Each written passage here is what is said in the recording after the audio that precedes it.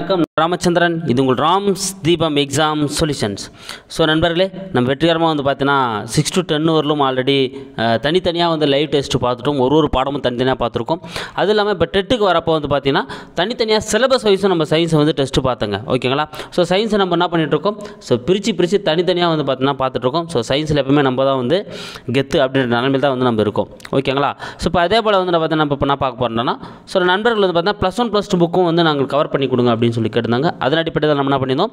Plus one zoology முதல்ல start பண்ணியிருந்தோம். Plus one ஜுவாலஜியில் வந்து பார்த்தீங்கன்னா செரித்தல் மற்றும் உட்கிரிக்கித்தல் அப்படின்ற பாடத்தை தான் நம்ம என்ன பண்ணுறோம் டைஜஷன் அண்ட் அப்சார்ப்ஷன் அப்படின்ற பாடத்தை நம்ம வந்து சொல்லியிருந்தோம் டெஸ்ட் சொல்லியிருந்தோம். ஓகேங்களா ஸோ ரொம்ப ரொம்ப இம்பார்ட்டண்டான பாடம். ஸோ இருக்கிற அந்த கண்டென்ட்லாம் தான் நம்ம நம்ம டெஸ்ட் எழுத அதுக்கு முன்னால் நம்ம சேனலுக்கு நான் புதுசாக வந்தீங்கன்னா நம்ம சேனலை சப்ஸ்கிரைப் பண்ணிங்க. கூட பக்கத்தில் பெல் பட்டனை கிளிக் பண்ணி அதில் ஆல் அப்படின்ற பட்டன் நோட்டிஃபிகேஷனை கிளிக் பண்ணிங்கன்னா உங்களுக்கு நான் போகிற எல்லா வீடியோஸும் உங்களுக்கு நோட்டிஃபிகேஷனாக வந்துட்டே இருக்கும்.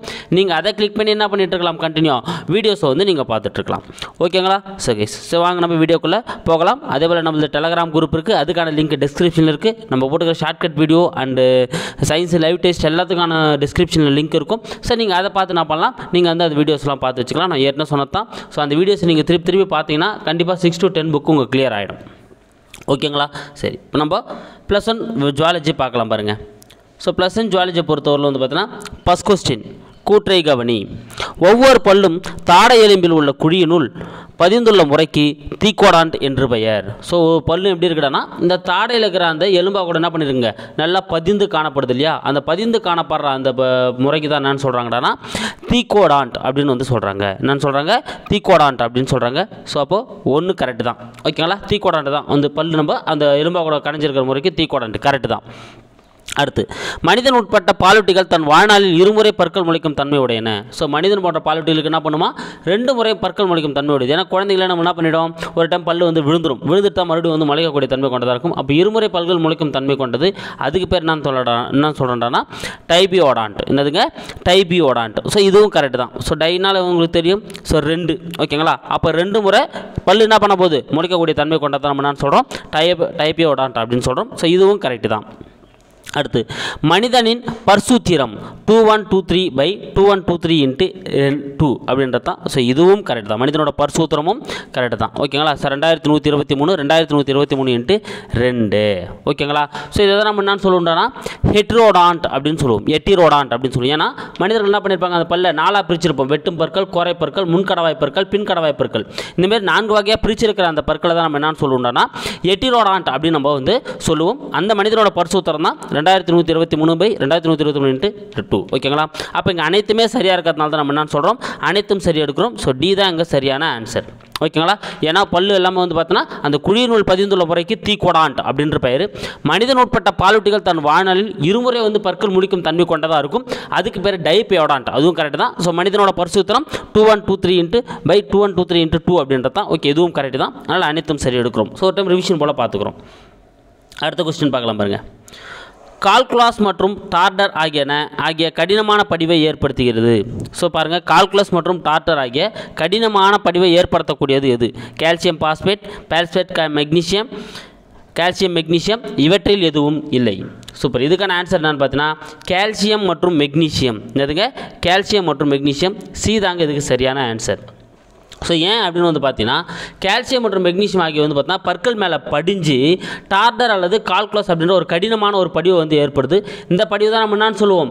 பற்று படலம் அல்லது பிளேக் அப்படின்னு நம்ம சொல்கிறோம் இந்த படல் தான் நம்ம என்ன சொல்கிறோம் பற்று படலம் அல்லது பிளேக்குன்னு சொல்கிறோம் ஸோ அதை நம்ம சரியாக க்ளீன் பண்ணாத விட்டுட்டோம் அப்படின்னா தான் நம்மளுக்கு என்ன ஏற்படுதுங்க? இந்த ஈறு ஈறு வீக்கணும். ஈறு வீக்க ஆரம்பிக்கும். பல்லு சோ ஸ்மெல் வர ஆரம்பிக்கும். பல்லுலேருந்து ரத்தம் வழி ஆரம்பிக்கும். ஸோ இந்த பிரச்சனைலாம் வர ஆரம்பிக்கும். ஓகேங்களா அப்போது அந்த அதுக்கு காரணமாக இருக்கக்கூடிய அந்த தனிமங்கள் தான் கால்சியம் மற்றும் மெக்னீஷியம் இது அப்படியே என்ன பண்ணுதுங்க? பற்கள் மேலே என்ன பண்ண ஆரம்பிக்கும்? படிய ஆரம்பிக்கும். அதை தான் டார்டர் கால்குலஸ் அந்த படிகிற அந்த படிவை தான் நம்ம என்ன சொல்கிறோம் கால்குலஸ் மற்றும் டார்டர் அப்படின்னு சொல்கிறோம் ஓகேங்களா ஸோ அப்போ இதுக்கான ஆன்சர் கால்சியம் மற்றும் மெக்னீஷியம் ஸோ உங்களுக்கு தெரியும் பற்களோட மேல் பகுதியில் இருக்கக்கூடிய அந்த கடினமானது வந்து பார்த்தீங்கன்னா எனாமல் ஓகேங்களா ஸோ அதை வந்து பல் நம்ம உடலில் இருக்கக்கூடிய மிக உறுதியான பகுதி என்னன்னா இந்த எனாமல் தான். ஓகேங்களா ஸோ ரொம்ப உறுதியான ஒரு பகுதி. அடுத்த கொஸ்டின் பார்க்கலாம் பாருங்கள் பொறுத்துக. அடுத்த கொஸ்டின் எதுங்க? பொறுத்துக. சூப்பருங்க. சரி நீங்கள் ஆல்ரெடி வந்து கொஸ்டின் அனுப்பினால நீங்கள் ஆன்சர் ஆல்ரெடி போட்டு வச்சுருப்பீங்க. நம்ம ஸ்ட்ரெயிட்டாக வந்து ஆன்சருக்குள்ளே போயிடலாம். ஓகேங்களா ஸோ பற்கள். ஸோ பற்களுக்கு மேலே இருக்கக்கூடிய அந்த உரைக்கு பேர் வந்து பார்த்தா எனாமல். ஓகேங்களா அப்போ ஒன்றுக்கு வந்து மூணு. ஓகேங்களா ஸோ இப்போ நீங்கள் ஆன்சர் முடிச்சுட்ருக்கலாம் ஓகேங்களா எக்ஸாமில் கூட வந்து பார்த்தீங்கன்னா சில கொஸ்டினுக்கான ஆன்சர் இப்படி தான் கிடைக்கும். நீங்கள் ஒன்று ரெண்டு பொறுத்திட்டாலே வந்து பார்த்தீங்கன்னா அதுக்கப்புறம் அங்கே ஆப்ஷனில் இருக்காது. ஸோ நீங்கள் ஸ்ட்ரெயிட்டாக அப்படி நீங்கள் ஆன்சருக்கு போயிடுவீங்க டீக்கு போயிடலாம். ஓகேங்களா சில நேரங்கள் அப்படி இருக்கும். நம்ம அதனால் ஃபஸ்ட் ரெண்டு நம்ம முதல்ல பார்த்தணும் அடுத்து நாக்கு. ஸோ நாக்கோட அந்த மேலே இருக்கிற சுவை முட்டுக்களுக்கு வந்து பேர் தான் என்னடனா பாப்பிலாக்கள் அப்படின்னு சொல்லுவாங்க. அப்போ நாக்கு வந்து பாப்பிலாக்கள் ஒன்று அடுத்து பாருங்கள் தொண்டை. ஓகேங்களா? ஸோ தொண்டையை பொறுத்தவரையில் வந்து பார்த்தீங்கன்னா அந்த தொண்டையோட பின்பகுதியில் இருக்கக்கூடிய அந்த அகன்ற உணவுகளோட திறப்புக்கு பேர் தான் வந்து பார்த்தீங்கன்னா கல்லட். என்னதுங்க? கல்லட் அப்படின்னு சொல்லுவாங்க. அப்போ தொண்டையோட தொடர்புடையது தான் கல்லட் அப்போ ஃபோர். அடுத்து மூச்சுக்குழல் ஓகேங்களா? ஸோ இந்த மூச்சுக்குழலோட திறப்பு நம்ம என்ன சொல்கிறோம் ஏன்னா வாய் ஒன்று தாங்க அதுலேருந்து என்ன பண்ணுது பாருங்கள் மூக்கு வாய் எல்லாமே. மூச்சுக்குழலும் அது வழியாக தான் போய் ஆகணும் உணவு பாதையும் அது வழியாக தான் போய் ஆகணும் அப்போ மூச்சுக்குழல் போகிறதுக்கு தனி ஒரு அமைப்பு இருக்கணும். உணவு குழல் போகிறதுக்கு தனி உணவு போகிறதுக்கு தனி அமைப்பு இருக்கணும். ஓகேங்களா? அப்படி அந்த தொண்டையில் இருக்கக்கூடிய ஒரு அமைப்பு தான் கல்லட். எதுக்கு? நம்ம அந்த உணவுக்குழி வழியாக வந்து பார்த்தீங்கன்னா உணவு போகிறதுக்கு அதே மூச்சுக்குழலில் இருக்கக்கூடிய ஒரு திறப்பு தான் வந்து பார்த்தீங்கன்னா கிளாடிசின் என்னதுங்க?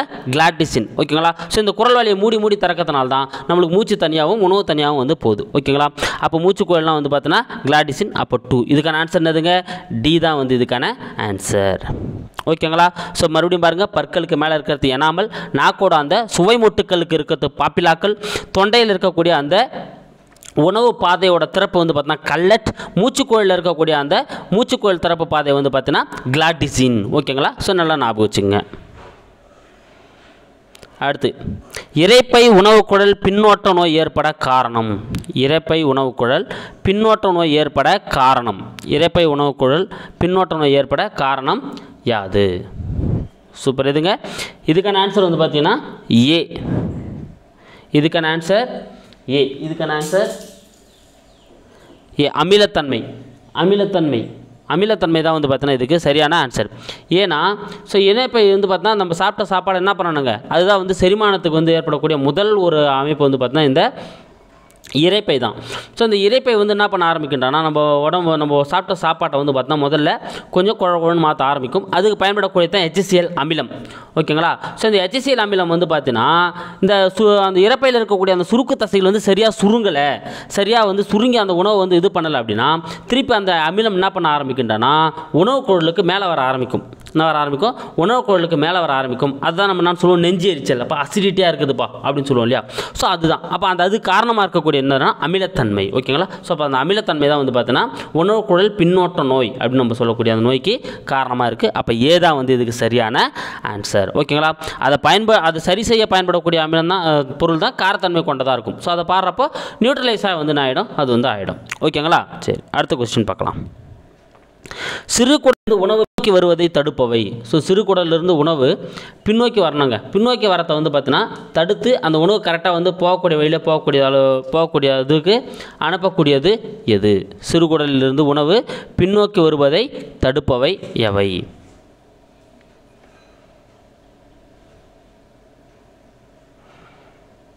சூப்பர். எதுங்க? பைலோரி பகுதி. பி தாங்க சரியான ஆன்சர் ஏன்னா நம்ம என்ன பண்ணியிருப்போம் இறைப்பையை மூணாக பிரிச்சிருப்போம். கார்டியாக் பகுதி பண்டிக் பகுதி பைலோரிக் பகுதி அப்படின்னு சொல்லிட்டு பண்ணியிருப்போம் மூணாக பிரிச்சிருப்போம். இந்த பைலோரிக் பகுதியை பொறுத்தவரையில் வந்து பார்த்தீங்கன்னா முதல்ல நம்ம காட்சாக் பகுதியை பற்றி பார்ப்போம். ஸோ காட்சாக் பகுதி அப்படின்றது வந்து பார்த்தீங்கன்னா இது வந்து உணவுக்குழலோட அந்த இறைப்பை இணையக்கூடிய பகுதி தான் வந்து பார்த்தீங்கன்னா நம்ம என்னன்னு சொல்லுவோம்? கார்டியாக் பகுதி அப்படின்னு சொல்லுவோம். ஏன்னா உணவுக்குழாய் வந்து என்ன பண்ணோம்? இறப்பையில் இங்கே இணைய இல்லைங்களா அப்படி இணையக்கூடிய இருந்தால் நம்ம என்ன சொல்லுவோம்? கார்டியாக் பகுதி அப்படின்னு சொல்லுவோம். ஸோ இது கார்டியாக் சுருக்கு தசைகளால் ஆனது இது என்ன பண்ணும்? இறைப்பைக்கு சாப்பாடு தள்ளி விடும் அடுத்து பார்த்தீங்கன்னா பைலோரிக் பகுதி அப்படின்றது வந்து பார்த்தீங்கன்னா இந்த முன்சிறுகுடல் இறப்பையோட இணையக்கூடிய இடம். இந்த சிறுகுடல் வந்து பார்த்தீங்கன்னா கீழே இங்கே இணையக்கூடிய இடம் தான் வந்து நான் என்ன சொல்லுவோம்னா பைலோரிக் பகுதி அப்படின்னு சொல்லுவோம். இந்த பைலோரிக் பகுதி தான் என்ன பண்ணுதுன்னா நம்ம இறைப்பையில் இருக்கிற சாப்பாடு எங்கே அனுப்புது? சிறுகுடலுக்கு வந்து என்ன பண்ணுதுங்க? அனுப்புதுங்க. ஓகேங்களா? ஸோ அப்போ சிறுகுடலுக்கு போனதுக்கப்புறம் அங்கேயே உணவு தங்கி மறுபடியும் என்ன பண்ணக்கூடாது அந்த உணவு? பின்னோக்கி வராமல் தடுக்கிற வேலையை எது செய்கிறான்னா நம்ம நம்ம இந்த பைலரிக் பகுதி தான் வந்து செய்யக்கூடியதாக வந்து இருக்குது ஓகேங்களா? ஸோ அப்போ இதுக்கான ஆன்சர் பைலோரிக் பகுதி. பைலோரிக் பகுதியில் தான் வந்து பார்த்தோன்னா அது தடுக்கப்படுகிறது. அடுத்து கூற்றை கவனி. கூற்று ஒன்று பாருங்கள் முன்சிறு குடலில் புருணர் சுரப்பி உள்ளது. முன்சிறு குடலில் என்ன இருக்குடானா புருணர் சுரப்பி. முன்சிறு குடலில் வந்து புருணர் சுரப்பி காணப்படுகிறது. பின்சிறு குடலில் குடல் உறிஞ்சிகள் உள்ளன. பின்சிறு குடலில் வந்து பார்த்தீங்கன்னா குடல் உறிஞ்சிகள் உள்ளன. சக்கஸ் என்ட்ரிகஸ் எனும் சிறுகுடல் நீரை லிபர்கன் மடிப்புகள் சுரக்கின்றன. ஓகேங்களா? சூப்பர். இதுக்கான ஆன்சர் என்னென்னு பார்த்தீங்கன்னா இதுக்கான ஆன்சர் டி அனைத்துமே சரி. டி அனைத்துமே சரிதாங்க கரெக்ட் ஏன்னா முன்சிறு குடலில் தான் வந்து பார்த்தீங்கன்னா இந்த புருணர் சுரப்பி காணப்படுது. ஓகேங்களா? ஸோ உங்களுக்கு தெரியும் சிறுகுடலை வந்து பார்த்தீங்கன்னா மூணாக பிரிச்சிருப்பாங்க. முன் சிறுகுடல் இடைச்சிறு குடல் பின் சிறுகுடல் அப்படின்னு சொல்லிட்டு பிரிச்சிருப்பாங்க. இதில் முன் சிறுகுடல் வந்து பார்த்தீங்கன்னா கிட்டத்தட்ட இருபத்தஞ்சு சென்டிமீட்டர் நீளம் கொண்டதாக இருக்கும். ஓகேங்களா? அந்த முன் சிறுகுடலில் தான் என்ன இருக்குதுன்னா புருணர் சுரப்பிகள் அப்படின்ற அந்த சுரப்பிகள் வந்து காணப்படுது. இதுதான் வந்து பார்த்தீங்கன்னா சில கோழைகளையும் சில நொதிகளையும் வந்து சுரக்கக்கூடிய ஒரு இதுவாக இருக்குது இந்த புருணர் சுரப்பி. ஓகேங்களா? அடுத்து நீங்கள் அப்படியே வந்தீங்கன்னா பின் சிறுகுடல் இந்த இந்த பின்சிறு குடலை பார்த்தீங்கன்னு வச்சுங்களேன் இந்த வந்து அந்த கோழை படலங்கள் வந்து பார்த்தா நிறைய குடல் உறிஞ்சிகள் வந்து காணப்படும். இந்த வில்லி அப்படின்னு சொல்லக்கூடிய அந்த குடல் உறிஞ்சிகள் காணப்படும். இதுதான் வந்து பார்த்தா இந்த பிளட்டில் இருக்கக்கூடிய அந்த உணவுப் பொருட்களை ஃபுல்லாக உறிஞ்சி சாரி குடலில் இருக்கக்கூடிய உணவுப் பொருட்களை ஃபுல்லாக உறிஞ்சி பிளட்டில் கொடுக்கக்கூடிய வேலை செய்யறது இந்த குடல் உறிஞ்சிகள் தான். ஓகேங்களா அப்போ பின்சிறு குடலில் குடல் உறிஞ்சிகள் வந்து காணப்படுது. அது அப்படியே வந்தீங்கன்னா சக்க சென்ட்ரிகஸ் அப்படின்றத வந்து பார்த்தீங்கன்னா இது வந்து பார்த்தீங்கன்னா ஒரு சிறுகுடல் நீர். ஒன்றுதுங்க ஒரு சிறுகுடலில் காணப்படுற ஒரு நீர் தான் சக்க சென்ட்ரிகஸ் ஓகேங்களா ஸோ இதை சுரக்கக்கூடியது எதுனா லிப்பர்கன் மடிப்புகள். ஓகேங்களா எதுங்க? இந்த லிப்பர்கன் மடிப்புகள் தான் வந்து பார்த்தீங்கன்னா இதை சுரக்கக்கூடியதாக வந்து இருக்குது ஓகேங்களா? அப்போ அனைத்துமே இங்கே சரிதான். எல்லாமே கரெக்டு தான். அடுத்து பெருங்குடலுடன் தொடர்பற்றது எது?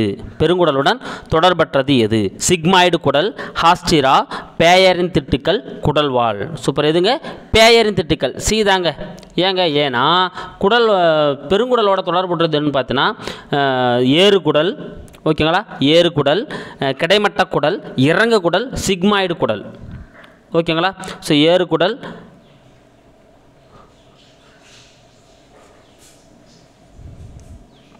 ஏறுகுடல் சிக்மாய்டு குடல் கரெக்டுங்க. சிக்மாய்டு குடல் வந்து பார்த்தீங்கன்னா பெருங்குடலோட தொடர்புடையது கரெக்டு தான். ஓகேங்களா? அதே போல் ஏறு குடல் இறங்க குடல் கிடைமட்ட குடல் இதுவும் பெருங்குடலோட தொடர்புற்றது தான் அடுத்து குடல்வால் ஸோ குடல்வால் பார்த்தீங்கன்னா எதாவது கூட தொடர்புடையதுனா நம்ம இந்த பெருங்குடலோட வந்து தொடர்புடையது தான் ஓகேங்களா? ஏன்னா அந்த பெருங்குடலோட அடிப்பகுதியில் ஒரு விரல் போன்ற ஒரு நீட்சி காணப்படும். ஓகேங்களா? ஸோ பெருங்குடலோட அடிப்படையில் வந்தீங்கன்னா ஸோ விரல் போன்ற ஒரு நீட்சி காணப்படும். இதுதான் குடல்வால் அப்படின்னு சொல்லுவாங்க. இதுவும் பெருங்குடலில் தான் இருக்குது ஓகேங்களா?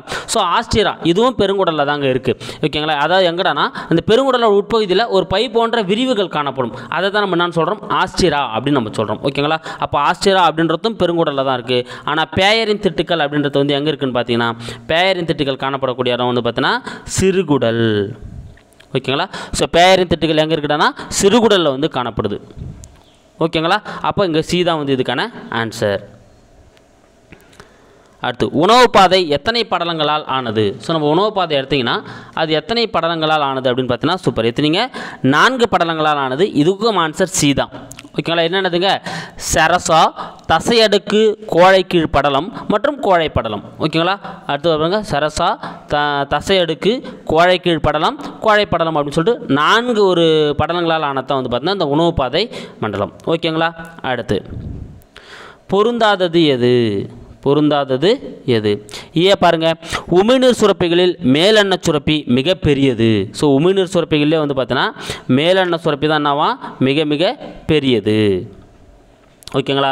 சூப்பர். ஒன்று வந்து கரெக்டு தாங்க. ஏ வந்து கரெக்டு தான். ஏன்னா மொத்தம் நம்மளுக்கு உமிழ்நீர் சுரப்பி மூன்று இணை உமிழ்நீர் சுரப்பிகள் இருக்குது மேலெண்ண சுரப்பி கீழ்த்தாடை சுரப்பி நாவடை சுரப்பி. இதை பற்றி நம்ம ஆல்ரெடி பார்த்துட்டோம். இதில் இந்த சுரப்பிகள் வந்து பார்த்தோன்னா கண்ண பகுதியில் அந்த கன்னத்தோட பகுதியில் காணப்படுறது தான் மேலெண்ண சுரப்பி. இது வந்து பார்த்தோன்னா இந்த மூணு சுரப்பிகளே மிகப்பெரியது எதிரான எதிரானா இந்த மேலெண்ண சுரப்பி தாங்க மிகப்பெரியது. ஓகேங்களா? அடுத்து பாருங்கள் இந்த மேலெண்ண சுரப்பியின் நாளம் ஸ்டென்சனின் நாளம். ஓகேங்களா? ஸோ மேலெண்ண சுரப்பியில் காணப்படக்கூடிய நாளம் வந்து பார்த்தீங்கன்னா ஸ்டென்சனின் நாளம் அப்படின்ற நாளம் தான் இருக்குன்றோம். ஸோ இதுவும் கரெக்ட் தான். ஸ்டென்சனின் நாளம் தான் மேலெண்ண சுரப்பியில் காணப்படுது. அடுத்து நாவடி சுரப்பியின் நாளம். ஸோ நாவடி சுரப்பியில் இருக்கக்கூடிய நாளம் வந்து பார்த்தீங்கன்னா ரிவினிஸ் நாளம். என்ன நாளுங்க? ரிவினிஸ் நாளம். இதுவும் கரெக்டு தான். ஓகேங்களா? அடுத்து கீழ்த்தாடை சுரப்பியின் நாளம் பர்தோலின் நாளம். ஓகேங்களா? இதாங்க தவறு. அப்போ எதில் இதில் பொருந்தாமல் இருக்குடானா டி தான் பொருந்தாமல் இருக்குது அப்போ இதுக்கான ஆன்சர் டி ஏன் பொருந்தலை அப்படின்னா ஸோ கீழ்த்தாடை சுரப்பியோட நாளம் வந்து பார்த்தீங்கன்னா வார்டனின் நாளம் நான் வரணுங்க. வார்டனின் நாளம்னு வரணும். ஓகேங்களா? ஸோ அப்போ வாட்டலின் நாளம் வந்திருந்தால் தான் கரெக்டு ஆனால் இங்கே என்ன கொடுத்துருக்கோம்? பர்தோலின் நாளம் அப்படின்னு வந்திருக்கு. அதனால் இது வந்து தவறு. ஓகேங்களா? அப்போ கீழ்த்தாட சுரப்பியோட நாளம் வாட்டலின் நாளம். ஓகேங்களா? அப்போ பர்தோலின் நாளம்னு எங்கங்க? இந்த ரிவினிஸ் நாளம் தான் நம்ம என்னன்னு சொல்கிறோம் பர்தோலின் நாளம் அப்படின்னு சொல்கிறோம் ஸோ ரிவினிஸ் நாளம் அல்லது பர்தோலின் நாளம் இது ரெண்டுமே எங்கே இருக்குடானா நாவடி சுரப்பியில் காணப்படுது. ஸோ நம்ம மறுபடியும் சொல்கிறோம் பாருங்க. நம்ம உமிநீர் மூன்று இணையான உமிநீர் சுரப்பிகள் காணப்படுது. அதில் மிகப்பெரியது மேலெண்ண சுரப்பி. அந்த மேலெண்ண சுரப்பியில் காணப்படக்கூடிய அந்த நாளம் தான் வந்து பார்த்தீங்கன்னா ஸ்டென்சன். அடுத்து கீழ்த்தாடை சுரப்பில் காணப்படக்கூடிய நாளம் தான் வந்து பார்த்தோன்னா வார்டனின் நாளம் நாவடி சுரப்பில் காணப்படக்கூடிய நாளம் தான் ரிவினிஸ் நாளம் பர்தோலின் நாளம். ஓகேங்களா? ஸோ நல்லா ஞாபகம் வச்சுங்க. இதில் பொருந்தாமல் இருக்கிறது டி அடுத்து இறைப்பையில் கோழையை சுரப்பவை எவை? ஸோ இறைப்பையில் வந்து பார்த்தீங்கன்னா கோடையை சுரந்து நம்மளுக்கு வந்து தருபவை எவை? இறைப்பையில் கோழையை சுரப்பவை எவை? சூப்பர் எதுங்க? இறப்பையில் வந்து கோழையை சுரக்கக்கூடியது என்னன்னா கோப்பை வடிவ செல்கள். ஸோ இறப்பையில் இருக்கக்கூடிய அந்த கோப்பை வடிவ செல்கள் தான் என்ன பண்ணுதுன்னா கோழையை வந்து சுரக்கக்கூடியதாக இருக்குது ஓகேங்களா? ஸோ இந்த கோழையை சுரக்கிறதுனால தான் இந்த ஹைட்ரோக்ளோரிக் அமிலமாக இருக்கட்டும் விட்டமின் பி டூவாக இருக்கட்டும் இது எல்லாத்தையுமே உட்கிரகித்து வேலை எல்லாமே சேர்த்துல வந்து அந்த கோழைகள் தான். ஸோ அந்த கோழைகளை ச சுரக்கக்கூடியது வந்து பார்த்தா இறப்பையில் கோப்பை வடிவ செல்கள் கோப்பை வடிவ செல்கள் தான் கோழையை சுருக்குது. அப்போ இதுக்கான ஆன்சர் சி அடுத்து கல்லீரலுடன் தொடர்பற்றது எது? ஸோ கொடுக்கப்பட்டதில் கல்லீரலோட தொடர்பட்டதுன்னு பார்க்கலாம் பாருங்கள் ஓகேங்களா ஸோ உங்களுக்கு தெரியும் நமது உடலில் இருக்கக்கூடிய மிகப்பெரிய சுரப்பி கல்லீரல் தான். நம்ம உடலில் இருக்கக்கூடிய மிகப்பெரிய சுரப்பி கல்லீரல் தான். அதை தொடர்பற்றது எது நம்ம பார்க்கலாம். ஃபஸ்ட்டு பாருங்கள் குளுக்கோஸை கிளைக்கோஜனாக சேமித்து வைக்கிறது. ஓகேங்களா ஏ கரெக்டு தாங்க. ஓகேங்களா ஏன்னா நம்ம உடலில் இருக்கக்கூடிய அதிகப்படியான குளுக்கோஸை மறுபடியும் கிளைக்கோஜனாக மாற்றி என்ன பண்ணுதுங்க? கல்லீரலே வந்து என்ன பண்ணுது? ஸ்டோர் பண்ணி வைக்குது. கரெக்டு தான். அடுத்து பி ஆப்ஷன் பாருங்கள் பழுதுபட்ட ரத்த செல்களை அழித்தல். ஓகேங்களா ஸோ வயசாகி பழுதுபட்ட ரத்த அரசர்கள் இருக்கிறானா? அது அழிக்கிற வேலையை எது செய்கிறானா இந்த கல்லீரல் தான் செய்யுது அப்போ இதுவும் கரெக்டு தான். நீரில் கரையும் வைட்டமின்களையும் இரும்புகளையும் சேமிக்கிறது. ஓகேங்களா? சி தாங்க தவறு. ஓகேங்களா? அப்போ இதுக்கான ஆன்சர் சி. ஏன் தவறுன்றதை நம்ம பார்த்தலாம். இது வந்து பார்த்தீங்கன்னா கொழுப்பில் கரையக்கூடிய வைட்டமின். ஓகேங்களா? கொழுப்பில் கரையக்கூடிய வைட்டமினையும் இரும்பையும் சேமிக்கிறது. ஸோ கொழுப்பில் கரையக்கூடிய வைட்டமின் என்னங்க? ஏ டி இ கே இதாங்க கொழுப்பில் கரையக்கூடிய வைட்டமின் இதுக்கு நம்ம ஷார்ட்கட் ஆல்ரெடி பார்த்துருப்போம். அடக் அப்படின்னு சொல்லுவோம். ஸோ இது இப்போ படித்து பார்த்தீங்கன்னா எப்படி வருதுங்க? அடக் அப்படின்னு நம்ம சொல்லுவோம். ஓகேங்களா ஏடிஇகே அப்படின்னா அடக் அப்படின்னு நம்ம சொல்லுவோம். அப்போ கொழுப்பை அடக்கு கொழுப்பை அடக்கு அப்படின்றத வந்து பார்த்தோன்னா நம்ம பொதுவாக சொல்லக்கூடியது. அப்போ ஏடிஇகே என்ற வைட்டமினையும் இரும்பையும் சேமித்து வைக்கிறது தான் எதனோட வேலை. கல்லீரலோட வேலை. அப்போ இங்கே கு- நீரில் கரையும் வைட்டமின் கொடுத்துருக்கோம். ஏன்னா நீரில் கரையும் வைட்டமின் எதுங்க? ஸோ பி மற்றும் சி பிசி தான் வந்து பார்த்தீங்கன்னா நீரில் கரையும் வைட்டமின்கள் இந்த பியில் B one B two B five B six அதெல்லாம் அதில் வந்துடும் ஆனால் மொத்தமாக நம்ம விட்டமின் பி அப்படின்றப்போ வந்து பார்த்தீங்கன்னா அது எல்லாமே என்ன கரையும் வைட்டமின் நீரில் கரையக்கூடிய வைட்டமின் ஸோ அது கல்லீரல் சேமித்து வைக்கல. ஓகேங்களா அப்போ கொழுப்பில் கரையும் வைட்டமின்களை தான் சேமித்து வைக்குது. அதனால் நம்ம இது தவறாக இருக்குது அதனால் சி தான் ஆன்சர் அடுத்து நச்சு பொருட்களை சிதைத்து நச்சுத்தன்மை கொண்ட மாற்றுகிறதுன்றதும் கரெக்ட் தான். ஸோ நச்சு உடலில் இருக்கிற மாற்றக்கூடியது எதுனா கல்லீரல் தான். ஸோ அப்போ அதுவும் கரெக்ட் தான். அப்போ இதுக்கான ஆன்சர் சி அடுத்து பன்னெண்டாவது கொஸ்டின் பாருங்கள் முன் சிறுகுடலின் யூ வடிவ பகுதியின் இரு தூம்புகளுக்கு இடையில் அமைந்துள்ள உறுப்பு எது? ஓகேங்களா நம்ம என்ன பார்த்தோம். சிறுகுடலை முன் சிறுகுடல் இடைச்சிறுகுடல் பின் சிறுகுடல்னு பிரிச்சிருப்பாங்க. ஓகேங்களா அதில் அந்த முன் சிறுகுடல் வந்து பார்த்தோன்னா ஒரு யூ வடிவ ஒரு பகுதி இருக்குங்க. அந்த யூ வடிவ பகுதியில் இரு தூம்புகள் இருக்கும். அந்த தூம்புகளுக்கு இடையில் அமைந்துள்ள உறுப்பு எது? அப்படின்றது தான் நம்மளுக்கான கொஸ்டின் ஸோ கல்லீரல் கணையம் இரைப்பை சிறுநீரகம். ஸோ இதுக்கான ஆன்சர் நான் பார்த்தீங்கன்னா இதுங்க. சூப்பர் கணயம் பி தாங்க இதுக்கான ஆன்சர் ஓகேங்களா ஸோ அந்த முன்சிறு குடலோட அந்த யூ வடிவ பகுதியில் இரு தூம்புகளுக்கு இடையில் காணப்படக்கூடிய அந்த உறுப்பு எதிரான கணையம். ஓகேங்களா ஸோ கணையத்தோட சிறப்பு உங்களுக்கு தெரியும். கணையம் வந்து நாளமுள்ள சுரப்பியாகவும் செயல்படும். நாளம் இல்லா சுரப்பியாகவும் செயல்படும். அதனால தான் என்னன்னு சொல்லுவாங்க? இரட்டை சுரப்பி அப்படின்னு சொல்லுவாங்க. ஓகேங்களா ஸோ எண்டோகிரைனாகவும் செயல்படும். எக்ஸோகிரைனாகவும் செயல்படக்கூடியதாக வந்து இருக்கும். ஓகேங்களா ஸோ நல்லா ஞாபகம் வச்சுங்க. இரட்டை சுரப்பி கணையம். இதுதான் எங்கே இருக்குடானா அந்த சிறுகுடலோட யூ வடிவ இரு தூம்புகளுக்கு இடையில் காணப்படக்கூடிய ஒரு உறுப்பு. அடுத்து உமிழ்நீரின் பிஹெச் அளவை பராமரிப்பவை எவை? உமிழ்நீரோட பிஹெச் அளவை பராமரிப்பவை எவை? ஸோ நம்மளோட உமிழ்நீர் இருக்கு இல்லையா? உமிழ்நீர் நம்ம வாயில் இருக்கக்கூடிய உமிழ்நீர். ஸோ அதில் வந்து என்ன பண்ணுதுங்க? நம்ம வாயில் சாப்பாடு வந்தவொடனே நம்ம ஜீரண செயல்பாடு ஆரம்பிச்சிச்சுங்க. எது முதல்ல ஸ்டார்ட் பண்ணுதுன்னா உமிழ்நீர் தான் ஸ்டார்ட் பண்ணுது. ஓகேங்களா? அதனால தான் நம்ம முன்னோர்கள் வந்து பார்த்தோன்னா முதல்ல வாழை வச்சோன்னே அதில் ஊருக்காவே ஒரு ஸ்வீட்டையோ வைப்பாங்க. அதை பார்த்தோன்னே நம்மளுக்கு ஆட்டோமேட்டிக்காக என்ன பண்ணும் வாயில்? உமிழ்நீர் வந்து ஸ்டிமுலேட் பண்ணும். இந்த உமிழ்நீரில் தான் வந்து பார்த்தோன்னா நிறைய நொதிகள் இருக்குது ஓகேங்களா? ஸோ இந்த நொதிகள் அதாவது டயலின் அமைலேஸ் லைசோசோம் இந்த நொதிகள்லாம் காணப்படுது. இந்த நொதிகள்லாம் என்ன ஆகுதுன்னா உணவு வந்து ஒரு குழ குழப்பாக ஆக்கி அப்புறம் தான் இறைப்பைக்குள்ளே அனுப்பும். அப்போவே வந்து பார்த்தீங்கன்னா அந்த பிஹெச்சோட லெவல்லாம் வந்து மெயின்டைன் பண்ண ஆரம்பிச்சிடும் ஓகேங்களா?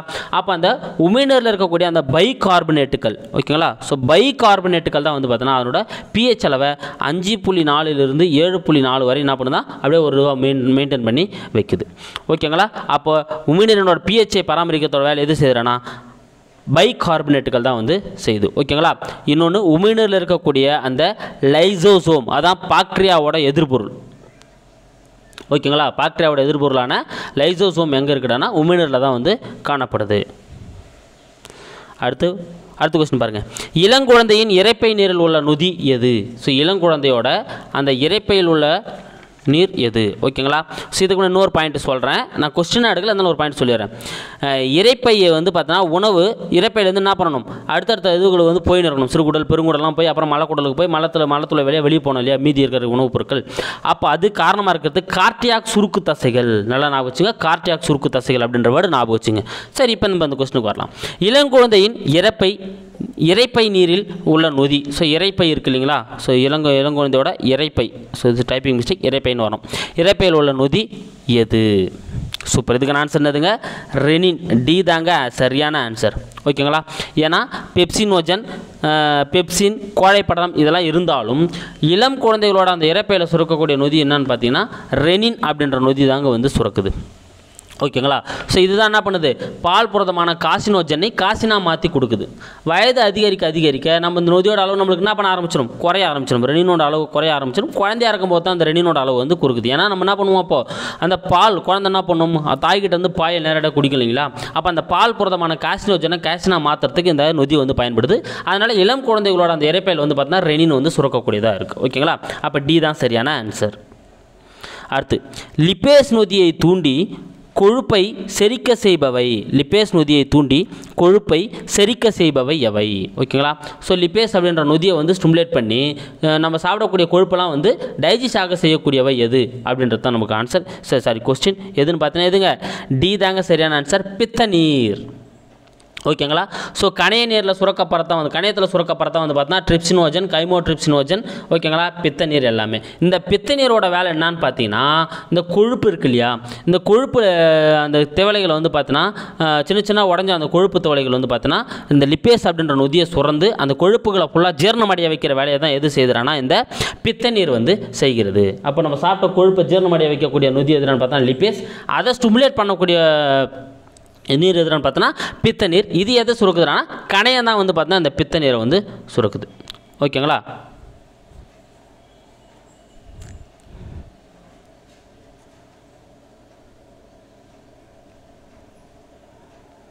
அடுத்த கொஸ்டின் பாருங்கள் டைபெப்டைடுகள் மற்றும் ட்ரைபெப்டைடுகள் ஆகியவை அமினோ அமிலங்களாக மாற்ற வினையாற்றுபவை அவை. ஓகேங்களா நான் உங்களுக்கு என்ன சொன்ன என்னன்னா சிறுகுடல் நீரில் இருக்கக்கூடிய அந்த மால்டேஸ் லாக்டேஸ் சுக்ரேஸ் அதாவது சுக்ரேஸ் இன்னொரு பேர் தான் இன்வெர்டேஸ் ஸோ இன்வெர்டேஸ் டைபெப்டிடோஸ் மற்றும் லிப்பேஸ்கள் மற்றும் நியூக்ளியோசைடேஸ்கள் இது எல்லாமே வந்து பார்த்தோன்னா இந்த ஏற்கனவே பித்த நீர் கனை நீரால் செரிக்கப்பட்ட அந்த உணவு என்ன பண்ணுதுன்னு பார்த்தீங்கன்னா அது மேலே வந்து பார்த்தீங்கன்னா வினையாற்றி நம்மளுக்கு பயன்படக்கூடியதாக மாற்றுங்க ஓகேங்களா?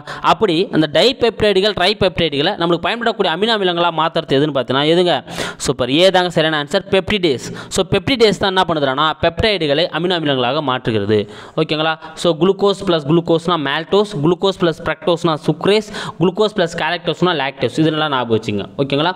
ஸோ அப்போ நம்ம மால்டேஸ் தான் வந்து பார்த்தீங்கன்னா glucose plus glucose glucose plus குளுக்கோஸை நம்மளுக்கு வந்து மாற்றி கொடுக்குது. இதில் நோ முக்கியமாக நீங்கள் ஞாபகம் வச்சு வந்து கொழுப்பு அமிலங்கள் மற்றும் கிளிசரால்னால் வந்து பார்த்தீங்கன்னா லிப்பேஸ்கள் நம்ம இப்போ தான் பார்த்தோம். பித்தநீர் லிப்பேஸை ஸ்டிமுலேட் பண்ணி கொழுப்பை வந்து என்ன பண்ணும்? கரைக்கக்கூடியதாக இருக்கும். அப்போ கொழுப்பு அமிலம் மற்றும் கிளிசரால்னால் லிப்பேஸ்கள் நல்லா ஞாபகம் வச்சுங்க. அடுத்து நியூக்ளியோ டைடுகள் நியூக்ளியோ டைடம் வந்து பார்த்தீங்கன்னா நியூக்ளியோ சைடாகவும் பாஸ்பாரிக் அமிலமாகவும் மாற வினையாற்றக்கூடியது எதுன்னு பார்த்தீங்கன்னா நியூக்ளியோ டைடேஸ் நியூக்ளியோ டைடேஸ் அப்படின்னா பாஸ்பாரிக் அமிலம். ஓகேங்களா? இதே நியூக்ளியோ சைடேஸ் அப்படின்னு வந்துச்சுன்னா நைட்ரஜன் காரங்கள். நல்லா நான் வச்சுங்க. ஓகே நைட்ரஜன் காரங்கள். சைடேஸ்னால் நைட்ரஜன் காரங்கள். டைடேஸ்னா பாஸ்பாரிக் அமிலம். இது நல்லா நான் வச்சுங்க. அடுத்து பொருந்தா என எது? நச்சு பொருளை சிதைக்கும் முக்கிய உறுப்பு கல்லீரல். ஸோ நச்சு பொருளை சிதைக்கக்கூடிய ஒரு முக்கிய உறுப்பு எதுன்னு பார்த்தீங்கன்னா கல்லீரலுங்க. ஸோ கல்லீரல் தான் என்ன பண்ணுதுன்னா நம்ம உடலில் வரக்கூடிய நச்சுப் பொருளை ஃபுல்லாக சிதைக்கக்கூடிய வேலையை செய்யுது. அடுத்து உணவு செரிமானம் மற்றும் நன்மை செய்யும் பாக்டீரியாக்கள் அது மொத்தம் அடங்கியது தான் நம்ம சொல்லுவோம்? புரோபயாட்டிக்ஸ் அப்படின்னு நம்ம சொல்லுவோம். ஓகேங்களா நான் சொல்லுவோம்? புரோபயாட்டிக்ஸ் அப்படின்னு சொல்லுவோம். அந்த பாக்டீரியாக்கள் மொத்தமாக சேர்த்து கரெக்டு தாங்க. ஓகேங்களா ஸோ நச்சு பொருளை வந்து சிதைக்கக்கூடியது கல்லீரல் கரெக்டு தான். உணவு செரிமானம் நன்மை செய்யக்கூடிய பாக்டீரியா இது மொத்தமாக சேர்த்து நம்ம உடலில் இருக்கக்கூடிய பாக்டீரியாக்களை ப்ரோபயாட்டிக்ஸ் அப்படின்னு சொல்லுவோம். அதுவும் கரெக்டு தான். கோலன் என்பது சிறுகுடலை குறிக்கும். தவறுங்க. ஏன்னா கோலன் அப்படின்றது எதை குறிக்கக்கூடியது? பெருங்குடல். ஓகேங்களா? ஸோ கோலன் அப்படின்றது வந்து எதை குறிக்குதுன்னா பெருங்குடலை குறிக்கக்கூடியது தான் வந்து பார்த்தீங்கன்னா இது ரொம்ப முக்கியமானது. செரிமான மண்டலத்துக்கு தேவையான பாக்டீரியாக்கள் எல்லாமே எங்கே தான் இருக்கும். பெருங்குடலில் தான் இருக்கும். அதுதான் கோலன் அப்படின்னு சொல்கிறோம் அப்போ இதான் எங்கே தவறு. அடுத்து இறைப்பையில் உள்ள அமிலம் உணவுக் குழுக்கள் வராமல் தடுப்பது எது? ஸோ ஏன்னா இறைப்பையில் இருக்கக்கூடிய அந்த அமிலம் வந்து என்ன பண்ணக்கூடாது? திருப்பி உணவுக் குழுக்குள்ளே வந்து வந்துடக்கூடாது ஸோ அதை தடுக்கக்கூடியது எதுன்னு பார்த்தீங்கன்னா இந்த கார்டியாக் தசைகள். ஸோ டி கரெக்டு தான். கார்டியாக் தசைகள் தான் வந்து தடுக்குது. ஓகேங்களா? அப்போ இதில் வந்து பொருந்தாத்து சி ஏன்னா கோலன் அப்படின்றது பெருங்குடலை குறிக்கக்கூடியது. அடுத்து ஹைபர் விட்டமினோசிஸுடன் தொடர்பற்றது எது? ஹைபர் விட்டமினோசிஸுடன் தொடர்பற்றது எது? சூப்பர் இதுக்கான ஆன்சர் என்னென்னு பார்த்தீங்கன்னா டி தாங்க இதுக்கான ஆன்சர் ஓகேங்களா ஏங்க ஹைப்பர் விட்டமினோசிஸ்னா நாங்கள் முதல்ல? அதாவது கொழுப்பில் கரையும் வைட்டமின்கள் தேவைக்கு அதிகமாக நம்ம உடலை வந்துச்சு அப்படின்னா அதுதான் நம்ம என்ன சொல்கிறோம் ஹைப்பர் வைட்டமினோசிஸ் ஸோ விட்டமினோசிஸ் அப்படின்னாலே என்ன அர்த்தங்க? வைட்டமினோட அளவு அதிகமாகிடுச்சுன்னு அர்த்தம். அதில் ஹைப்பர் விட்டமினோசிஸ் அப்படின்னா இந்த கொழுப்பில் கரையும் வைட்டமின்கள் என்ன ஆகுதுன்னா நம்ம பாடியில் அதிகமாயிட்டா அதான் ஹைப்பர் விட்டமினோசிஸ் நான் உங்களுக்கு ஏற்கனவே சொன்ன போல கொழுப்பில் கரையும் வைட்டமின் எது எதுங்க? ஏடிஇகே ஓகேங்களா பிஎன்சியும் நீரில் கரையும் வைட்டமின் அப்போ இதில் பொருந்தாத்து சி தான் பொருந்தாதது. அப்போ இதுக்கான ஆன்சர் டி அடுத்து சிறுகுடலில் சிறு கடல் டைப் ஆகிட்டுக்குது சிறுகுடலில் இருந்து கால்சியம் மற்றும் பாஸ்பரஸ் உட்கிருக்கத்தலை தூண்டுகிறது தூண்டுவது எவை? ஸோ சிறுகுடலிருந்து கால்சியம் மற்றும் பாஸ்பரஸ் உட்கிரு உட்கிருக்கத்தில் தூண்டி விடுறது எது? அப்படின்னு தான் நம்மளுக்கான கொஸ்டின் ஸோ எதுங்க சூப்பர் இதுக்கான ஆன்சர் வந்து பார்த்தீங்கன்னா பி தாங்க இதுக்கான ஆன்சர் கால்சிபரால் ஆன்டிராக்டிக் வைட்டமின் கால்சிபரால்னா எதை குறிக்கும்? விட்டமின் டியை குறிக்கக்கூடியது. ஓகேங்களா? ஸோ முதல்ல பார்க்கலாம். ரெட்டினால்னா விட்டமின் ஏயை குறிக்கக்கூடியது. டேக்கோஃபெரால் அப்படின்னா விட்டமின் இயை e குறிக்கக்கூடியது. ர- ரத்த போ பெருக்கதிர் ஹார்மோன் ஓகேங்களா? ரத்த போக்கதிர் ஹார்மோன் அப்படின்னா என்னென்னு பார்த்தீங்கன்னா விட்டமின் கேவை குறிக்கக்கூடியது. ஓகேங்களா? அப்போ இங்கே சிறுகுடல் இருக்கக்கூடிய அந்த கால்சியம் மற்றும் பாஸ்பரஸ் உட்கிருக்கிறதுல தூண்டுறது என்னன்னா கால்சியரால் விட்டமின் டி தான். இந்த கால்சியம் பாஸ்பரஸை உறிஞ்சாதான் நம்ம எலும்புகள் பாதுகாப்பாக இருக்கும். அதனால தான் எலும்புகளில் குறைபாடு குழந்தைகளுக்கு ரெக்கட்ஸும் ஆஸ்டியோமொலியாசா பெரியவர்களுக்கு ஆஸ்டியோமொலியாசான்ற அந்த எலும்பு குறைபாடு ஏற்படுறதுக்கான காரணம் கால்சியம் பாஸ்பரஸ் குறைபாடு தான். அப்போ அந்த கால்சியம் பாஸ்பரஸ் எங்கேருந்து உறிஞ்சப்படணும்? சிறுகுடலேருந்து உறிஞ்ச காரணமாக இருக்கிறது விட்டமின் டி அதனால தான் நம்ம என்ன சொல்கிறோம் ரிக்கஸ்ட் ஆஸ்டியோமொலியாக்கு காரணமான வைட்டமின் விட்டமின் டின்னு சொல்கிறோம் அந்த விட்டமின் டியோட இன்னொரு பேர் தான் கால்சிபெரால் ஆன்டிராக்டிக் வைட்டமின் ஓகேங்களா? சரி அடுத்த கொஸ்டின் போகலாமா அடுத்து பொருந்தாதது எது? தயமின் தயமின் அப்படின்னா தயமினால் ஏற்படக்கூடிய நோய் பெரிபெரி ரிஃபோப்ளோவின் அப்படின்னா வாய் உதவு நாக்கெல்லாம் வந்து வீக்கம் ஏற்படுறது கிழியிறது. ஃபேண்டோதீனிக் அமிலம்னா கொழுப்பு நிறைந்த கொழுப்பு நிறைந்த கல்லீரல் கல்லீரல் வந்து கொழுப்பு அதிகமாக சேருது நிக்கோடினிக் அமிலம் அப்படின்னா பெலாக்ரா நிக்கோடினிக் அமிலம்னா வந்து பார்த்தீங்கன்னா என்னென்னா பெலாக்ரா ஓகேங்களா? சூப்பரில் பொருந்தாத்ததுங்க சூப்பரில் பொருந்தாத்து வந்து பார்த்தீங்கன்னா சி தாங்க வந்து இதில் பொருந்தாதது மீதிலாம் கரெக்ட் தான். ஏன்னா தயாமின் தயாமின் எதனோட பேருங்க? விட்டமின் பி ஒன்னோட இன்னொரு பேர் தான் தயாமின் ஸோ அதனால் ஏற்படக்கூடிய நோய் தான் பெரிபெரி. ஸோ ரத்த ஓட்ட மண்டலம் பாதிக்கும் தசை நரம்படலாம் பாதிக்கும். ஓகேங்களா? ஸோ அப்போ இதனால் பாதிக்கப்படுறது இதுதான். ஏன்னா கார்போஹைட்ரேட்டோட வளர்ச்சி மாற்றத்தில் தயாமின் முக்கிய பங்காற்றுது. அப்போ விட்டமின் பி ஒன் வந்து பார்த்தீங்கன்னா சரி. ரிபோஃப்ளோவின் அப்படின்னா என்னதுங்க? விட்டமின் பி டூ ஸோ இதுக்கான ஷார்ட்கட் வீடியோ ஆல்ரெடி நான் போட்டிருப்பேன். விட்டமின்ஸ் நோய்களுக்கான ஷார்ட்கட் வீடியோ அது பார்த்தீங்கன்னா உங்களுக்கு கண்டிப்பாக இது மறக்கவே மறக்காது. ஸோ அதுக்கான இது டிஸ்கிரிப்ஷன்லையும் இருக்கும். நான் உங்களுக்கு வந்து பார்த்தீங்கன்னா இந்த வீடியோ போகிறப்போ வந்து பார்த்தீங்கன்னா ஷார்ட்கட் வீடியோஸ்னு மேலே ப்ளே வர வைக்கிறேன். நீங்கள் அந்த கிளிக் பண்ணி கூட நீங்கள் பார்த்தலாம் அந்த ஐக்கானை ஸோ அடுத்து பேண்டோதீனிக் அமிலம் அப்படின்னா vitamin B three so vitamin B three தான் வந்து பார்த்தீங்கன்னா பேண்டோத்தீனிக் அமிலம் இது என்ன பண்ணுதுன்னா இறப்பை குடரா குடல் கோளாறுகள் ஏற்படுத்தி ரத்த சோகை மற்றும் பாத எரிச்சலுக்கு காரணமாக இருக்கிறது. எதுங்க? இந்த பேண்டோதீனிக் வந்து பார்த்தீங்கன்னா ரத்த சோகை மற்றும் பாத எரிச்சலுக்கு காரணமான வைட்டமின் தான் வந்து இந்த பேண்டோதீனிக் அமிலம் ஓகேங்களா? ஏன்னா கொழுப்பு நிறைந்த கல்லீரலுக்கு காரணம் விட்டமின் பி ஃபோர் என்னதுங்க? விட்டமின் பி ஃபோர் தான் கொழுப்பு நிறைந்த அமிலத்துக்கு காரணம். விட்டமின் பி ஃபைனோட பேர் என்னன்னு பார்த்தீங்கன்னா கோ லைன் என்னதுங்க? கோலைன் அப்படின்றது தான் விட்டமின் பி ஃபோரோட பேர். இதுதான் வந்து பார்த்தீங்கன்னா கல்லீரலில் கொழுப்பு நிறைந்து சேரத்துக்கான மிக முக்கியமான ஒரு இதுவாக இருக்குது ஓகேங்களா? ஏன்னா அசிட்டைல் கோலைன் உற்பத்திக்கு முக்கியமாக இருக்கிறது தான் அந்த விட்டமின் பி ஃபோர் அப்படின்னு அழைக்கப்படுற கோலைன் இது குறைவாக இருந்தால் கல்லீரல் என்ன பண்ணும் கொழுப்பு வந்து அதிகமாக சேர ஆரம்பிக்கும். ஓகேங்களா? அப்போ இங்கே சி தான் வந்து தவறு. ஏங்க மறுபடியும் சொல்கிற பார். ஃபேண்டோதினிக் அப்படின்றது ரத்த சோகையும் பாத எரிச்சலையும் ஏற்படக்கூடிய ஒரு ஏற்படுத்தக்கூடிய ஒரு வைட்டமின் இங்கே கொழுப்பு நேர்ந்த கல்லீரலுக்கு காரணம் விட்டமின் பி ஃபோர் கோலைன் ஓகேங்களா? ஸோ தெளிவாக உங்களுக்கு புரிஞ்சிட்ருக்கும் அடுத்து நிக்கோட்டினிக் அமிலம். ஸோ நிக்கோட்டினிக் அமிலம் அப்படின்றது வந்து பார்த்தீங்கன்னா விட்டமின் பி ஃபைவ்ங்க ஸோ விட்டமின் பி ஃபைவ் தான் வந்து பார்த்தீங்கன்னா என்னன்னா நிக்கோட்டினிக் அமிலம் அல்லது நியாசின் அப்படின்னு அழைக்கப்படக்கூடிய ஒரு வைட்டமின். இதனால் ஏற்படக்கூடிய நோய் பெல்லாக்ரா கரெக்ட் தாங்க. ஓகேங்களா ஸோ பெல்லாக்ரா கரெக்ட் தான். இன்னொன்று டிமென்சியா. ஸோ இந்த வேர்டு நல்லா ஞாபகம் வச்சுங்க. டிமென்சியா. ஸோ டிமென்சியா அப்படின்ற நோய் ஏற்படுறதுக்கு காரணமான வைட்டமின் என்னன்னா நம்ம இந்த விட்டமின் பி ஃபைவ் தான். அதாவது வந்து மனத்தளர்ச்சி. ஸோ மனத்தளர்ச்சி ஏற்படுறதுக்கான காரணமாக இருக்கிறது விட்டமின் பி ஃபைவ் தான். ஓகேங்களா அதனோட பேர் தான் நியாசின் நிக்கோட்டினிக் அமிலம். ஓகேங்களா இதுக்கான ஆன்சர் சி ஓகேங்களா அடுத்த கொஸ்டின் பார்க்கலாம். பொறுத்துக. இப்போ நம்ம பார்க்க பார்த்ததுங்க பொறுத்துக. ஸோ ஆல்ரெடி நீங்கள் என்ன பண்ணிட்டு இருப்பீங்க? பொருத்தி ஆன்சர் எடுத்துகிட்டு இருப்பீங்க. நம்ம ஸ்ட்ரெயிட்டாக ஆன்சருக்கு போயிடலாம். படிச்சுட்டு பாருங்கள் pyridoxine so pyridoxine என்னங்க? விட்டமின் பி சிக்ஸ் தாங்க ஃபைரி டாக்ஸின் சொல்லப்படுது. முதல்ல அது நம்ம தெரிஞ்சுப்போம். விட்டமின் பி சிக்ஸ் தான் ஃபைரி டாக்ஸின் அப்படின்னு சொல்லப்படுது. ஸோ இதனால் ஏற்படக்கூடிய நோய் என்னென்னு பார்த்தீங்கன்னா தோல் நோய் வலிப்பு தசை இழுப்பு ரத்த சோகை. ஓகேங்களா? அப்போ தசை இழப்பு வரும். அப்போ ரெண்டு. அடுத்து vitamin H so vitamin H அப்படின்றது எப்படின்னா vitamin B seven so vitamin B seven அப்படின்னு அழைக்கப்படுற பயோடின். என்னதுங்க? விட்டமின் பி செவன் என்னது? பயோடின். ஸோ பயோடின் அப்படின்னு அழைக்கப்படுற vitamin B seven vitamin H அப்படின்னு அழைக்கப்படுது. அதனால் ஏற்படக்கூடிய நோய் தோல் நோய். அப்போ ஒன்று அடுத்து போலிக் அமிலம் folic அமிலம்னா vitamin B nine so vitamin B நைனால் B nine தான் வந்து பார்த்தீங்கன்னா ஃபோலிக் அமிலம் அப்படின்னு சொல்லப்படுது. ஸோ இந்த ஃபோலிக் அமிலம் வந்து பார்த்தீங்கன்னா ஏற்படக்கூடிய நோய் வந்து பார்த்தீங்கன்னா இந்த ரத்த சிவப்பணுக்கள் என்ன அவங்க? உட்கோர் வந்து பார்த்தீங்கன்னா முதிர்ச்சி அடைந்த உட்கராக காணப்படும். அப்போ த்ரீ கரெக்டு தான். அடுத்து கோபாலமைன் அப்படின்னு என்னதுங்க? Vitamin B twelve so vitamin B டுவெலோட இன்னொரு பேர் தான் கோபாலமைன் ஸோ இதனால் ஏற்படக்கூடியது தான் கடுங் சாரி கொடுங்குருதி சோகை ஓகேங்களா? ஸோ பெர்சினியஸ் அனிமியா அப்படின்னு சொல்லுவோம். நம்ம என்னன்னு சொல்லுவோம்? பெர்சினியஸ் அனிமியா அப்படின்னு சொல்லுவோம். அதான் கொடுங்கதிர் சோகை அப்படின்னு அழைக்கப்படுறது. அப்போ டூ ஒன் த்ரீ ஃபோர் அப்படின்றதாங்க இதுக்கான ஆன்சர் ஓகேங்களா? ஸோ மறுபடியும் நான் சொல்கிறேன் பாருங்க. ஃபைரிடாக்சின் அப்படின்னா பி சிக்ஸ் பி சிக்ஸோட இன்னொரு பேர் தான் பைரிடாக்சின் அதனால் ஏற்படுறது தசை இழப்பு விட்டமின் ஹெச் அப்படின்னா வந்து பார்த்தீங்கன்னா விட்டமின் பி செவன் பயோடின் அப்படின்றது தான் விட்டமின் ஹெச்னு சொல்லப்படுது. இது வந்து தோல் அரிச்சியை ஏற்படுத்துது. அடுத்து போலிக் அமிலம் விட்டமின் பி நைன் அப்படின்றது தான் நூறு பேர் போலிக் அமிலம் இது அந்த முதிர்ச்சி அடைந்த உட்கருக்கு காரணமாக இருக்குது அடுத்து விட்டமின் பி டுவெல் அப்படின்னா கோபால் அமீன் இது வந்து பார்த்தீங்கன்னா பெர்சினியஸ் அனிமியா அதாவது கடுங்கதிர் சோகை அப்படின்ற நோய்க்கு வந்து காரணமாக இருக்குது அப்போ டூ ஒன் த்ரீ ஃபோர் அப்படின்றது ஆன்சர் எங்கே இருக்குது பாருங்கள் so two one three four அப்படின்றது பி தாங்க இதுக்கு சரியான ஆன்சர் அடுத்து இருபத்தி ஒன்பது கொஸ்டின் பாருங்கள் மாலுமியின் நோய்க்கு காரணமான வைட்டமின் எது? மாலுமியின் நோய்க்கு காரணமான வைட்டமின் எது? Vitamin A vitamin A vitamin D vitamin E vitamin C ஓகேங்களா? ஸோ மாலுமியின் நோய்க்கு காரணமான வைட்டமின் எது? எதுன்னு பார்த்தீங்கன்னா எதுங்க? விட்டமின் சி டி தாங்க சரியான ஆன்சர் ஏன்னா பி மற்றும் சி நீரில் கரையும் வைட்டமின் இதுவரை நம்ம பிக்கான நோய்க்கான நோய் ஏற்படக்கூடிய நோய்கள் எல்லாமே நம்ம பார்த்தோம். விட்டமின் சி வந்து பார்த்தீங்கன்னா அஸ்கார்பிக் அமிலம் அப்படின்னு அழைக்கப்படுது. எதுங்க அஸ்கார்பிக் அமிலம். விட்டமின் சி வந்து அஸ்கார்பிக் அமிலம்னு அழைக்கப்படுது. ஸோ இது வந்து பார்த்தீங்கன்னா மாலுமியின் நோய் ஸ்கர்வி. என்னதுங்க? ஸ்கர்வி அப்படின்றது மாலுமியின் நோய்னு அழைக்கப்படுது. ஸோ ஏன்னா பஞ்சு போன்ற ரத்தம் கசியும் உயிர்கள் எளிதில் பற்கள் உதிர்தல் எளிதில் உடையும் எலும்புகள் இதெல்லாம் வந்து பார்த்தீங்கன்னா ஏற்படக்கூடியது. அப்போ மாலுமியின் நோய்னா ஸ்கர்வி. இதுக்கு காரணமானது வந்து பார்த்தீங்கன்னா விட்டமின் சி நல்லா ஞாபகம் வச்சுங்க இந்த நோயோட பேரை வாய்ப்புகள் அதிகம் கேட்கறதுக்கு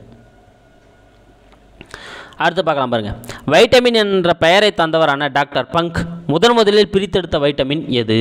ஸோ முத முதல்ல பிரித்தெடுத்த வைட்டமின் எது? சூப்பர் எதுங்க? ஏ பி ஏ தாங்க இதுக்கு சரியான ஆன்சர் ஓகேங்களா ஏன்னா vitamin B one vitamin B ஒன்னை தான் அவர் என்ன பண்ணுறாரு முத முதல்ல பிரித்தெடுக்கிறாரு. ஸோ வைட்டமினை கண்டறிஞ்சது யாருன்னா? லுனின் நல்லா ஞாபகம் வச்சுங்க. லுனின் அப்படின்றது தான் வைட்டமினை கண்டுபிடிக்கிறாரு. ஆனால் அதுக்கு வைட்டமின்னு பேர் வச்சவர் யாருன்னா டாக்டர் பங்க். நல்லா ஞாபகம் வச்சுங்க. லுனின் அப்படின்றவர் வைட்டமினை கண்டுபிடிச்சாலும் அதுக்கு பேர் வச்சவர் டாக்டர் பங்க்கு. ஓகேங்களா? இந்த டாக்டர் பங்கு முத முதல்ல பிரித்தெடுத்த வைட்டமின் எதிரானா? Vitamin B one. ஓகேங்களா? Vitamin B one. இதில் இன்னொரு பாயிண்ட் என்னென்னா விட்டமின் சியும் வந்து பார்த்தீங்கன்னா இவரால் தான் உருவாக்கப்பட்டது. நொதித்தல் முறையில் அசிட்டோ ஃபேக்டர் அப்படின்ற பாக்டீரியாவிலிருந்து என்ன பண்ணுறாங்க விட்டமின் சியை உருவாக்குறாங்க. எந்த ஃபேக்ட்ரியாங்க aceto factor so aceto factor அப்படின்றது ஒரு பாக்டீரியா இந்த பாக்டீரியாவில் தான் இது உருவாக்கப்படுது. விட்டமின் சி வந்து உருவாக்கப்படுது. ஸோ மறுபடியும் ஒரு டைம் ரிவிஷன் பண்ணுற பாருங்க. லுனின் அப்படின்றவர் தான் என்ன பண்ணுறாரு எண்ணெய் லுனின் அப்படின்றவர் தான் விட்டமின் கண்டுபிடிக்கிறாரு. ஆனால் அதுக்கு விட்டமின் பேர் வச்சவர் டாக்டர் பன்கு அவர் முத முதல்ல பிரித்தெடுத்த வைட்டமின் விட்டமின் பி ஒன் அது மட்டும் இல்லாமல் அசிட்டோ ஃபேக்டர் அப்படின்ற பாக்டீரியாவிலிருந்து விட்டமின் சி வந்து பிரித்தெடுக்கப்பட்டுச்சு. எந்த முறையில்? நொதித்தல் முறையில். அடுத்து இருபத்தி மூணு கொஸ்டின் கூற்றை கவனி. கார்போஹைட்ரேட்டின் கலோரி மதிப்பு நாலு புள்ளி ஒன்று கலோரிகள். நாலு புள்ளி ஒன்று கல்லூரிகள் பை கிராம் ஓகேங்களா ஸோ டைப்பிங் மிஸ்டேக்கு நாலு புள்ளி கிரா கலோரிகள் பை கிராம்னு வரணும். ஸோ கிராம் அடுத்து கொழுப்பின் கலோரி மதிப்பு. ஒன்பது புள்ளி நாலு அஞ்சு கலோரி கிலோ கலோரிகள் பை கிராம் ஒம்பது புள்ளி நாலு அஞ்சு கிலோ கலோரிகள் பை கிராம் இதுவும் கரெக்டு தான். புரதத்தின் கலோரி மதிப்பு ஐந்து புள்ளி ஆறு அஞ்சு கிலோ கலோரி பை கிராம் ஓகேங்களா பாருங்கள் ஸோ கார்போஹைட்ரேட்டோட கலோரி மதிப்பு நாலு புள்ளி ஒன்று கரெக்டு தான். கொழுப்போட கலோரி மதிப்பு ஒன்பது புள்ளி நாலு அஞ்சு. அவ்வளோ வந்து நம்மளுக்கு வந்து எனர்ஜி கிடைக்குமா? கொழுப்பு. அதாவது ஒரு ஒரு கிராம் அந்த கொழுப்புலேருந்து நம்மளுக்கு அவ்வளோ கிடைக்குதாம் புரதத்தின் கலோரி மதிப்பு வந்து பார்த்தீங்கன்னா ஐந்து புள்ளி ஆறு அஞ்சு கிலோ கலோரி பை கிராம் ஓகேங்களா அப்போ இதெல்லாமே வந்து கரெக்டு தான். நல்லா ஞாபகம் வச்சுங்க. கார்போஹைட்ரேட்னா நாலு புள்ளி ஒன்று கொழுப்புனா ஒன்பது புள்ளி நாலு அஞ்சு புரதனா வந்து பார்த்தீங்கன்னா ஐந்து புள்ளி ஆறு அஞ்சு. ஓகேங்களா? இதில் உடற்செயலின் எரிதிறன் மதிப்பு அப்படின்னு பார்த்தீங்கன்னா கார்போஹைட்ரேட்டுக்கும் நாலு தான். நம்ம கொழுப்புக்கும் வந்து நாலு தான். ஆனால் கொழு சாரி இது அமினோ அமிலத்துக்கும் நாலு தான் கார்போஹைட்ரேட்டுக்கும் நாலு தான். எதுங்க? நம்ம உடற்செயலில் நம்ம நம்ம வீ நம்ம வே ஒர்க் பண்ணுறப்போ வந்து பார்த்தோன்னா இதனோட அந்த எரிதல் திறன். ஓகேங்களா? இதே வந்து பார்த்தா கொழுப்புக்கு வந்து பார்த்தோன்னா ஒன்பது கிலோ கலோரிகள் பை கிராம் எவ்வளோங்க? ஒன்பது வந்து நம்மளுக்கு வந்து கிடைக்குது. ஸோ அதனால் ஞாபகம் வச்சுங்க அடுத்து பொருந்தாதது எது? கோலிடிஸ் அப்படின்னா சிறுகுடலின் உட் உட்சுவர் அ- அழற்சி ஸோ சிறுகுடலில் இருக்கக்கூடிய அந்த உட்சுவர்கள் வந்து பார்த்தீங்கன்னா அயற்சி ஏற்படுத்த நம்ம என்னன்னு சொல்லுவோம்? கோலிட்டிஸ் அப்படின்னு நம்ம சொல்லுவோம். ஸோ இதுதாங்க தவறு. ஏ தான் இதுக்கான ஆன்சர் ஏன்? ஏன்னா பெருங்குடல் பெருங்குடலோட அந்த உட்சுவர் வந்து பார்த்தீங்கன்னா அயற்சி ஏற்பட்டுச்சு அப்படின்னா அதை தான் நம்ம என்னன்னு சொல்கிறோம்னா கோலிடிஸ் அப்படின்னு நம்ம சொல்கிறோம் ஓகேங்களா அப்போ கோலிடிஸ் அப்படின்றது எதை குறிக்குதுன்னா இந்த பெருங்குடலில் இருக்கக்கூடிய அந்த உட்சுவர்கள்னா அவங்க அயற்சி ஏற்பட்டுரும். பெருங்குடலில் இருக்கிற உட்சுவர்கள் வந்து பாதிக்கப்படும். இதனால் என்ன ஆகும்? ஸோ வயிற்றுப்போக்கு ரத்த கசிவுலாம் ஏற்படும் மலக்குடலில். ஸோ இது வந்து மிகப்பெரிய ஒரு பாதிப்பு. ஸோ கோலிடிஸ் அப்படின்றது பெருங்குடலோட சம்மந்தப்பட்டது சிறுகுடல் இல்லை. அதனால் ஏதா அங்கே பொருந்தாமல் இருக்குது இருந்தாலும் நம்ம மீதி மூணும் பார்த்துடலாம். கல்லீரல் அயற்சி அப்படின்னா ஹெப்பாட்டிட்டிஸ் வைரஸால் ஏற்படுகிறது. ஆமாங்க. கரெக்டு தான். ஓகேங்களா ஸோ கல்லீரல் அயற்சி அப்படின்றது மஞ்சள் காமாலை ஓகேங்களா? ஜாண்டிஸ் அப்படின்னு நம்ம சொல்லுவோம் இல்லையா? அந்த ஜாண்டிஸ் தான் வந்து பார்த்தீங்கன்னா கல்லீரல் ஆயிடுச்சு அப்போ மஞ்சள் காமாலையால் பாதிக்கப்படுற உறுப்பு எதுனா? ஜாண்டிஸ் தான். என்ன ரீசன் வந்து பாருங்களேன். இந்த ஈமோகுளோபின்லேருந்து நிறமிகளை வந்து பிரித்து எடுக்கும் ஸோ என்ன பண்ணும்? ஈமோகுளோபின்லேருந்து என்ன பண்ணுங்க? சில நிறமிகளை வந்து பிரித்து எடுக்கும் அந்த நிறமிகள் வந்து ஒழுங்காக இதுவாகாமல் அந்த கண்ணுலேயும் அந்த கல்லீரலையும் வந்து என்ன பண்ண ஆரம்பிக்கும்? ப ப படிய ஆரம்பிக்கும். ஓகேங்களா? அதாவது பிளிரூபின் பிளிவெர்டின் பிளிரூபின் பிலிரூபின் அப்படின்ற ரெண்டு நிறமிகள் வந்து என்ன பண்ண ஆரம்பிக்கும்? ரத்த சோப்பணுக்கள்லேருந்து பிரிக்க ஆரம்பிக்கும். அந்த பிரிக்கக்கூடிய அந்த நிறமிகள் வந்து பார்த்தீங்கன்னா ஸோ கண்ணுலையும் மற்ற இடங்களையும் போய் படிக்கிறதுனால மஞ்சள் நிறமாக மாறும். அதை தான் நம்ம மஞ்சள் காமாலை அப்படின்னு சொல்லுவோம். சில நேரங்களில் இது ஹெப்படைட்டிஸ் வைரஸாலையும் வந்து என்ன பண்ணவும் ஏற்படக்கூடியதாக இருக்கும். ஓகேங்களா? அப்போ பியும் கரெக்டு தான். கைவிடப்பட்ட கல்லீரல் அப்படின்னா கல்லீரல் சிதைவு நோய். ஸோ கைவிடப்பட்ட கல்லீரல். கைவிடப்பட்ட கல்லீரல் அப்படின்னா என்னதுங்க? கல்லீரல் சிதைவு நோய். ஸோ கரெக்டு தாங்க. அதாவது ரொம்ப நாளமாக வந்து கல்லீரல் வந்து ஒரு நோய் தொற்று ஏற்பட்டு அது வந்து பார்த்தீங்கன்னா சிதைஞ்சு போயிடுச்சு அப்படின்னா அதுக்கப்புறம் நம்மளால் என்ன பண்ண முடியாது. அதை வந்து எதுவுமே பண்ண முடியாது. ஓகேங்களா? அதில் சில கட்டிகள்லாம் தோன்றிடும். அப்படி தோண்டிச்சுனா அதை நம்ம என்ன சொல்கிறோம் கைவிடப்பட்ட கல்லீரல் அல்லது தழும்பூடிய கல்லீரல் அப்படின்னு நம்ம என்ன பண்ணுறோம் சொல்கிறோம் இது சில நேரங்களில் உணவு ச- ஊட்டச்சத்து குறைவான சாப்பாடு சாப்பிட்றதுனாலே வந்து பார்த்தீங்கன்னா ஏற்படக்கூடியதாக வந்து இருக்குது இதுவும் கரெக்டு தான். அடுத்து ஃபெரிடோனிட்டிஸ் அப்படின்னா குடல்வால் ஆயிடுச்சு. இதுவும் கரெக்டு தாங்க. ஏன்னா குடல்வால்னால் நம்ம இந்த பெருங்குடலோட எண்ணில் இருக்கிற அந்த குடல்வால் சில நேரங்கள் என்ன ஆகிடும் விளக்கத்தோட பெருசாக வளர்ந்துரும். அதான் அப்பரண்டிஸ் அப்படின்னு நம்ம சொல்லுவோம். ஸோ ஓகேங்களா ஸோ அப்பண்டிக்ஸ் அப்படின்னு நம்ம சொல்லுவோம். அந்த அப்பண்டிக்ஸ் வந்து பார்த்தீங்கன்னா ஆப்ரேஷன் பண்ணி தான் ரிமூவ் பண்ணுவாங்க. அப்படி அந்த ஆப்ரேஷன் பண்ணாமல் விட்டுட்டோம் அப்படின்னா அந்த குடல்வால் இருக்க இருக்க பெருசாகி ஒல்லியே வெடிச்சிடும். ஓகேங்களா அப்படி வெடிக்கக்கூடிய அந்த நிலையை தான் நம்ம என்னன்னு சொல்கிறேன்டானா பெரிட்டோனிட்டிஸ் அப்படின்னு நம்ம சொல்கிறோம் ஓகேங்களா பெரிட்டோனிட்டிஸ் அப்படின்னு நம்ம சொல்கிறோம் அப்போ மீதி மூணு கரெக்டு தான். இங்கே ஏ தான் தவறு ஏன் ஏன்னா பெருங்குடலில் ஏற்படுற அந்த அயற்சி தான் கோலிடிஸ் அப்படின்னு நம்ம சொல்லுவோம். அடுத்து கூற்றை கவனி. வயிற்றுப்புண் ஹெலிகோஃபேக்டர் ஃபைலேரி ஸோ அல்சர் ஓகேங்களா? ஸோ பெப்டிக் அல்சர் அப்படின்றது வந்து பார்த்தீங்கன்னா இது மேக்ஸிமம் வந்து பார்த்தீங்கன்னா ஒரு இருபத்தஞ்சிலிருந்து நாற்பது வயது உள்ளவர்களுக்கு ஏற்படக்கூடிய ஒரு மிகப்பெரிய ஒரு பாதிப்பாக இருக்கும்.